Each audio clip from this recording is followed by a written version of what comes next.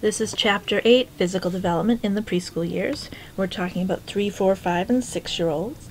The average 6 year old weighs about 46 pounds and is 46 inches tall. Kind of funny, a pound an inch. Uh, but there is a huge difference in with individuals in height and weight. Boys tend to be taller and heavier than girls. There's a lot of cultural and racial differences as well. 10% of 6 year olds weigh 55 pounds or more, 10% weigh 36 pounds or less. Some of the differences uh, are related, as I said, to gender and race, um, and a lot of it has also to do with socioeconomic factors. We notice when we look at a preschooler and we compare them to someone, an infant, so kind of thinking about a one year old compared to a four or five year old, they're less chubby, they're rounder, they slender out a little bit, um, their arms and legs get a little longer and by age six, their proportions become very similar to the proportions they'll have in their adult body. They are becoming stronger, muscle size increases, and bones are becoming sturdier. Uh, the sense organs are all becoming uh, much more developed as well. So this just shows the difference in weight with boys and with girls, um, in weight as well as in height. There's an increase in myelination during the preschool years. And by the end of preschool, there's a lot of difference in the growth um, of the brain. And we know that a two year old uh, has approximately three quarters the size and weight of an adult brain. And by the, by the time a child's five, as long as they're getting their nutritional needs met, that their brain will be 90% of the weight of an adult brain. Brain lateralization is where we look at when we think about the right brain and the left brain and the corpus callosum is the nerves that connect the two portions of the brain, the left and the left brain and the right brain serve different functions and for most people the left side of the brain relates to and manages your logic analyzing sequencing. It puts things in a very linear sequential manner. Uh, uses math language thinking about learning facts um, th thinking in words words to songs, and computation. The right brain relates to creativity, imagination, being holistic, intuition, your arts, the rhythm, beats, your nonverbal, your feelings, visualization, and the tune of a song also relates to daydreaming. So again, I just added, uh, not to forget, sequential is the way the left brain tends to work, and global is the way the right brain tends to work. Now, uh, in general, men tend to process language on the left side of their brain. So men tend to process language over here. Uh, so where do you think women tend to process language? Usually people say, oh, well, if she says the left brain for men, then usually it'd be the right brain for women, right? Eh, wrong. So men tend to process language over here on the left side. Women tend to process language equally on both sides. And it tends to be that little girls uh, begin to speak earlier than little boys, and maybe one of the reasons for that they think could be because they're using both sides of the brain instead of one to process language. Preschoolers view things a little bit differently than adults. They tend to see the small parts rather than looking at the big picture. Um, so this would be why it's more difficult for younger children, two, three, four, to think when you think about reading, where you have to take the letters, put them together into words, break them into sentences, because their eyes don't tend to focus on things quite that way. So here's an example. So is what do you see here when you look at this picture? I actually took a group of students over to the Horace Mann group of college students, and they did some some tasks uh, with some kindergartners and some third graders. One of those was to show them this picture, and the first thing they said was, "What do you see?"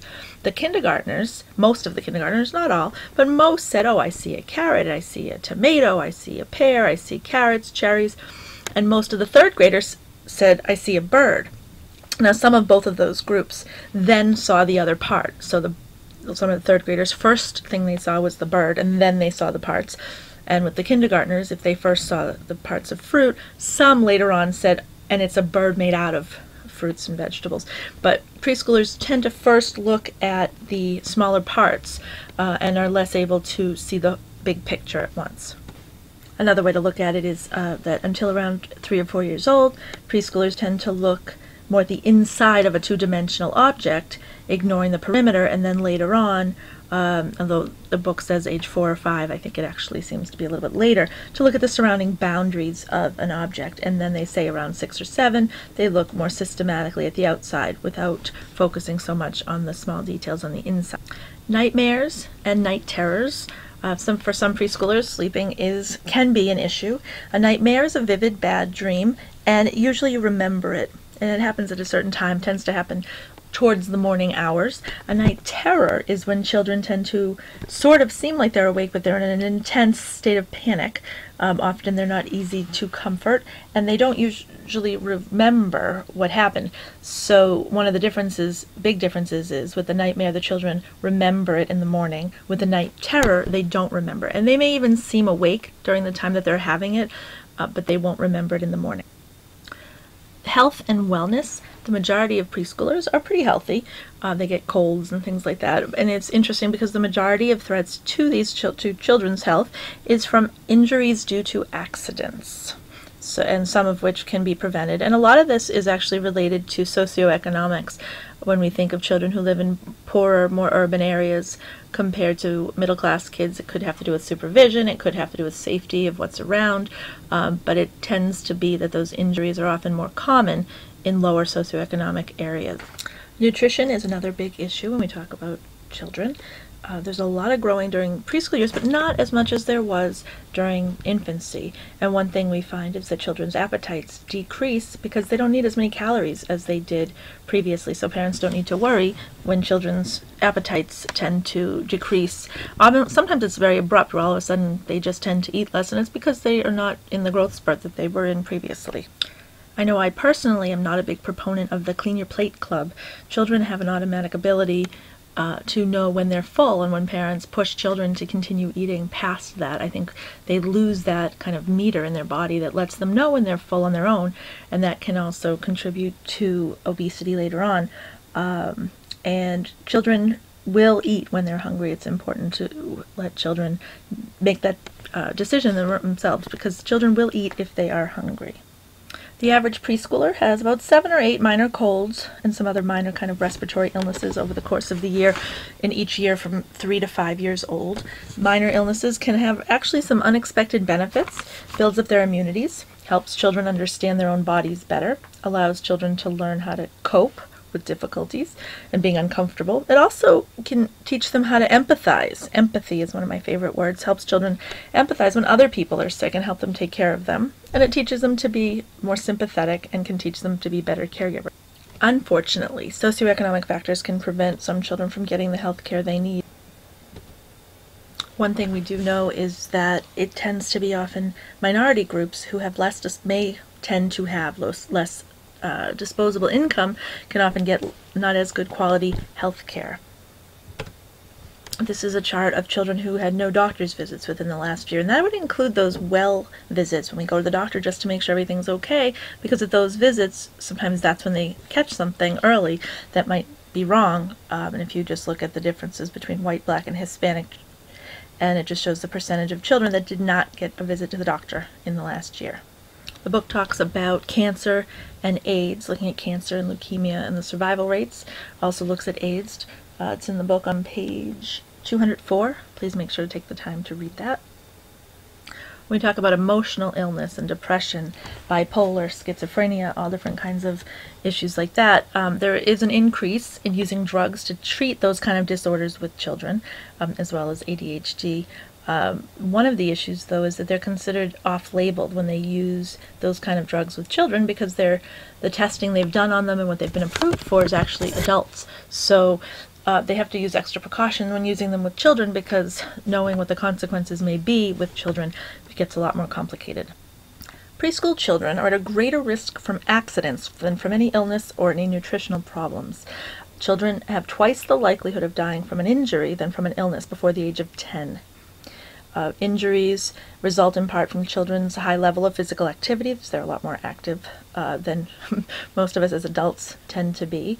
Children are apt to take more risks than adults. Boys tend to be more active than girls, tend to take more risks and have a higher rate of injuries. There's a lot of ethnic differences as well. Um, especially consider looking at how closely supervised the children are. Asian children tend to be more strictly supervised. They have the lowest rate of accidents for ch all children. Children who live in poverty are often exposed to more hazards, and they're two times more likely to die from an injury than children living in affluence. The range of dangers include things like falls, burns, drowning, auto accidents, poisonous substances, and the sad thing is a lot of these could have been avoided.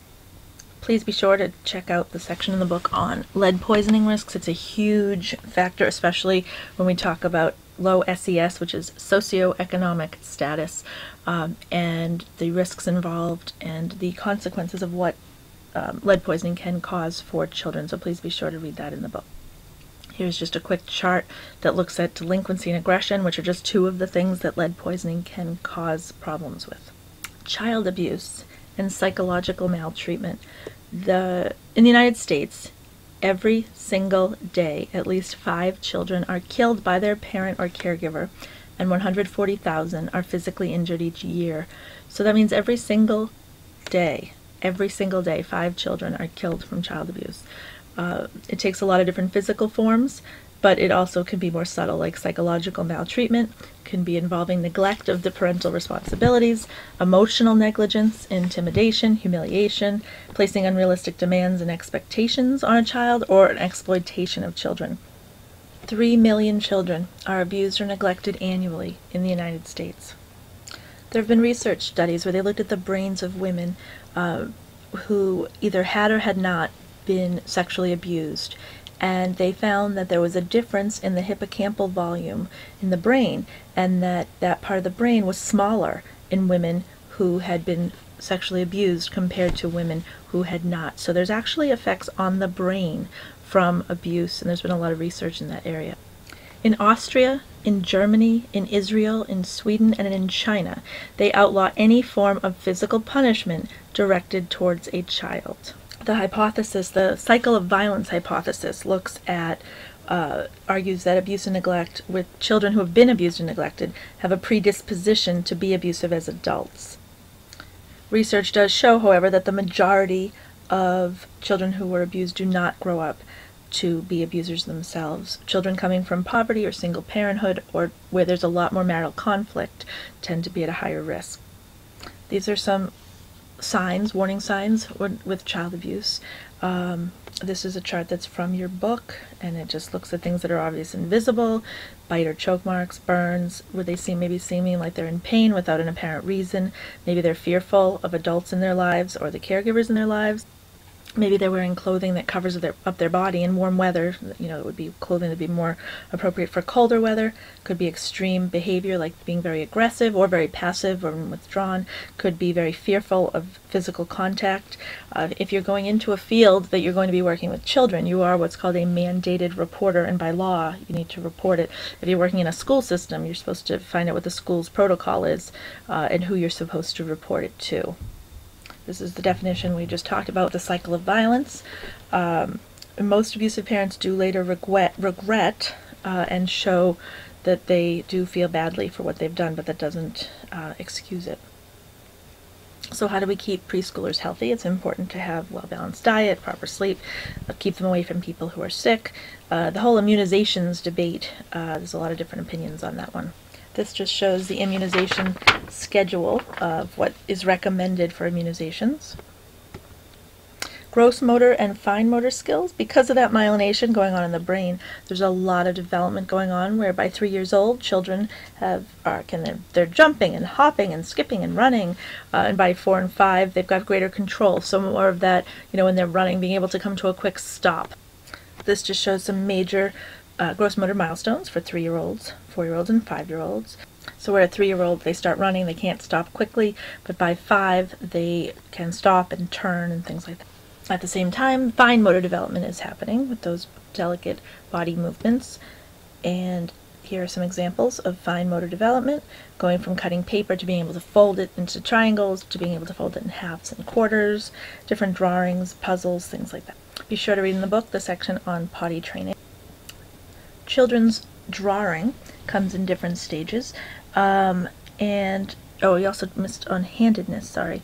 On-handedness. By age five, you can tell whether they're going to be left-handed or right-handed. So be sure to read the part in the book on handedness. Also, these stages of drawing, where they start with the scribbling, then shapes, then the pictorial. Be sure to read that section as well. Hopefully this was helpful to you. And um, don't forget about the roles of art as children learn and develop. And looking back questions, Hopefully that was helpful.